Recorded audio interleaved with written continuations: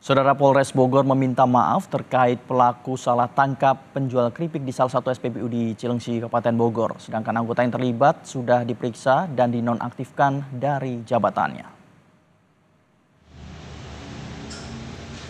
Sempat viral aksi salah tangkap yang dilakukan anggota kepolisian Resor Bogor terhadap penjual keripik di salah satu SPBU di Kecamatan Cilengsi, Kabupaten Bogor. Polres Bogor meminta maaf atas kejadian tersebut. Kini, para anggota kepolisian yang bertugas dan terlibat dalam insiden salah tangkap sudah diperiksa oleh Propam Polres Bogor serta dinonaktifkan dari jabatannya.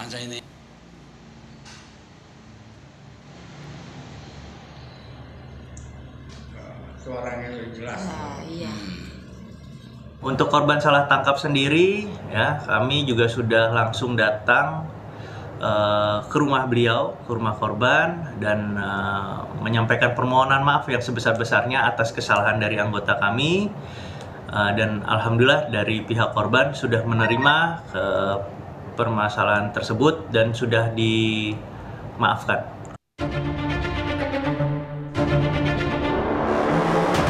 Inilah detik-detik aksi salah tangkap yang dilakukan petugas kepolisian Resor Bogor di sebuah SPBU di Cilengsi, Kabupaten Bogor. Terlihat petugas tanpa seragam polisi turun dari mobil dan menghampiri kendaraan yang ditumpangi sepasang suami istri saat mengantre di SPBU. Korban kemudian dibawa ke dalam kendaraan milik petugas. Menurut keterangan korban salah tangkap bernama Subur, saat itu ia bersama sang istri hendak berjualan di pasar Cilengsi. Namun dituduh sebagai pelaku perampokan. Ketika penyergapan, korban sempat diikat dan ditodong senjata api oleh petugas kepolisian. Ya, ya tiba-tiba apa tiba-tiba aja saya disergap gitu. Tiba-tiba disergap sama pihak ya pokoknya ngakunya si anggota Pak gitu. Ngakunya. Itu ngomongnya Bapak eh, sebagai apa katanya? Pelaku narkoba atau perampokan gitu? Rampok. Perampokan. Karena mobil kita tuh warnanya sama gitu. Oh gitu. Jadi dari Tapi udah beres sih Pak, udah clear. Iya. Alhamdulillah udah clear saya ke keluargaan. Udah sempat dikelar. sempat diikat apa Pak? Gimana Pak? Ya du- sempat diikat sih, tapi, tapi ya udahlah sekarang udah udah beres, udah nggak ada masalah lagi. Terus saya begitu. Ditodong pistol juga Pak? Iya, kayak gitu.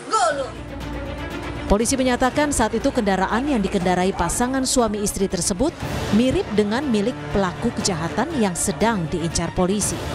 Dengan adanya kesalahan ini, para anggota yang terlibat dalam aksi salah tangkap itu dinonaktifkan dari jabatannya. Tim Liputan, Kompas TV,